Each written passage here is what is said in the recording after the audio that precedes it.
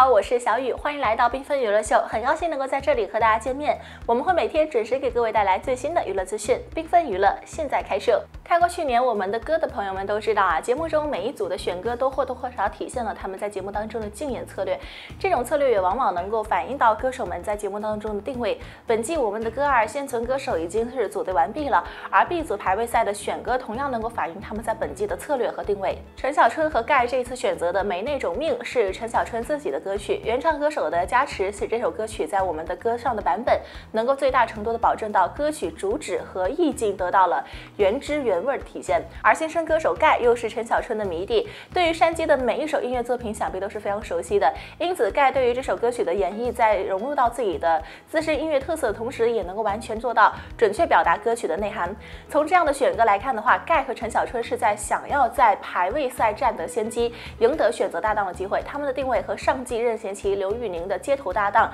颇为相似。孙楠和郑云龙的组合一经合体，便成为了观众心目中的夺冠热门。两人此次。选择的是林子祥的《敢爱敢做》这首歌，曲风高昂。符合这个林子祥一贯的演唱风格，而孙楠和郑云龙两个人虽然从声线还是整体的风格特征来看都能够展现出非常大的气场，但是两个人都不太去演唱一些律动极强的歌曲。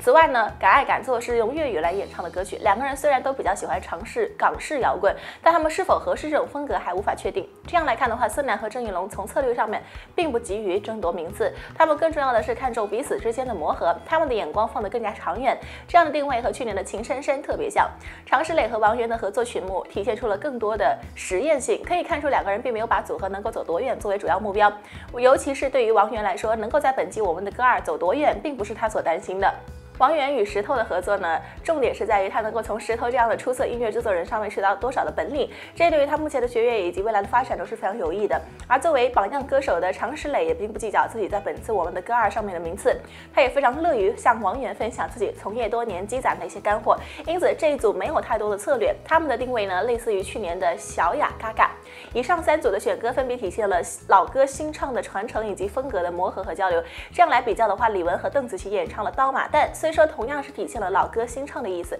但或许是李玟和邓紫棋咖位过于接近的缘故，这样的选歌以及这样的组合看上去并没有太多的特别之处。这两位歌手只要是继续参赛，便是无敌的存在。现在唯一的悬念就是他俩的定位了。如果按照座位表上面有二十位歌手的话，那么每一组会多出两位歌手。目前主持人林海已经透露了 A 组的 X 是两位歌手，B 组是否会对照 A 组的结构呢？也是否会加入到两名新的未知歌手呢？如果是这样的话，李玟和邓紫棋在节目中定位呢，就会和这个谭咏麟、李健一样了，只是召集人和飞行嘉宾不能够参加比赛，结果究竟如何，让我们拭目以待。另外，今天小编再来回顾一下我们的歌第三期的歌曲，聊一些本人的看法。孤独，邓紫棋能说又能唱，声音还好听，而且这首歌呀也完全和邓紫棋的其他歌曲有着极大反差，不在于突出她的铁肺唱功，整首歌曲是干净利落、潇洒的，让人觉得很爽快。邓紫棋是我比较喜欢的新生代歌手，不穿皮裤的时候人美丽而且可爱，声音还好听，带着一丝洒脱和潇洒，而且还有才华。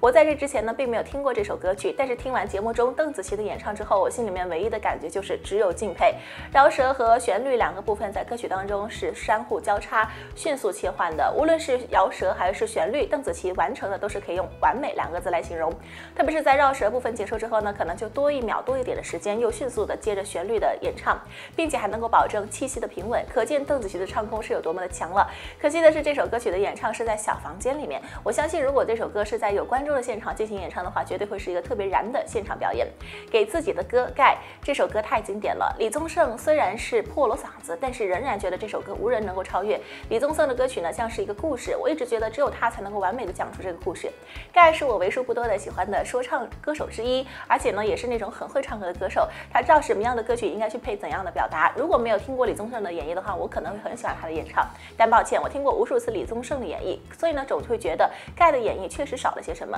虽然我也不知道缺少了什么，虽然这样很流氓。盖对这首歌曲的改变并不大，在歌曲当中该轻声表达和该情绪高昂的地方呢，都做了明显的处理。他也仿佛就是如李宗盛一样，在讲述一个故事，也并没有过分的去抓一些旋律。特别是在歌曲临近结尾的两声似冷笑的呵呵，就像是为这个故事增加了一个悲伤无奈的结局。但是这毕竟不是他的故事嘛。可乐王源其实挺心疼王源这个可怜孩子的，看弹幕啊被骂惨了。好在他的粉丝也很给力。说真的，这首歌王源的演绎并不是很完美，没有表达出原曲当中那种强烈的情感。王源的演绎太过于平淡了，可能是和自己的经历有关。看过王源在创作人上的表演的话，个人感觉王源不太适合这类歌曲的演唱，更加喜欢演唱作人舞台上面的几首歌，虽然有些青涩，但是呢，很容易让人进到情绪。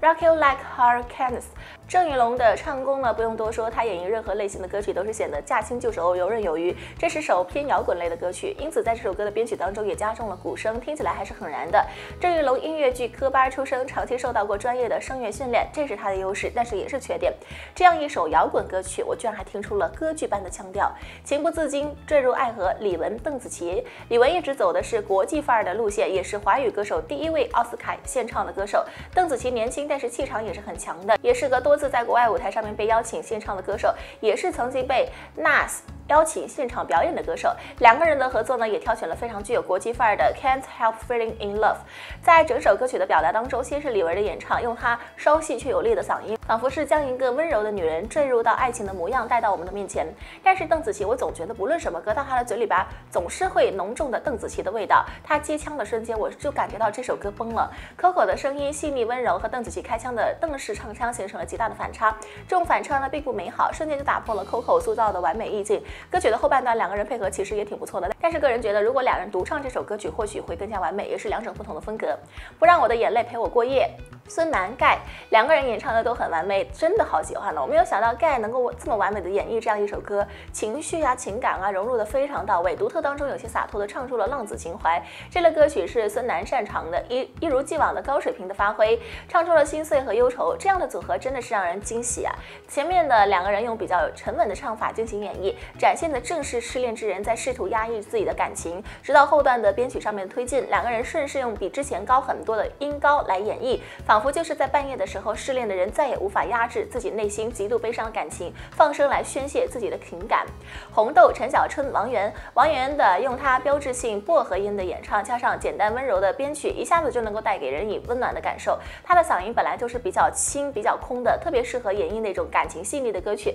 红豆这样的演绎，真的是让我觉得和王菲那种演绎是极强烈的反差。而陈小春呢，也体现了这种翻唱城市苦情歌的味道，开腔就太体现了出来，让我仿佛回到了我没那。种命的感觉，橄榄树，常石磊、郑云龙这首歌曲是一首很老的歌曲了，应该是目前这个舞台上时间最久的一首歌。原创齐豫呢是一个嗓音特别空灵婉转的歌手，这首歌也被他演绎的特别的空灵婉转、清澈干净。男歌手里面，我觉得李健应该也能够演绎出这首歌的味道。当然了，常石磊演绎这首歌也是完全没有问题的，他的声音本身就是一种特别的婉转。而郑云龙不不得不说啊，郑云龙的歌剧的实力就是不一样，配合不同的意境就可以用不同的嗓音、不同的声线，在歌曲的演绎上面，两位歌手的演唱实力没得说。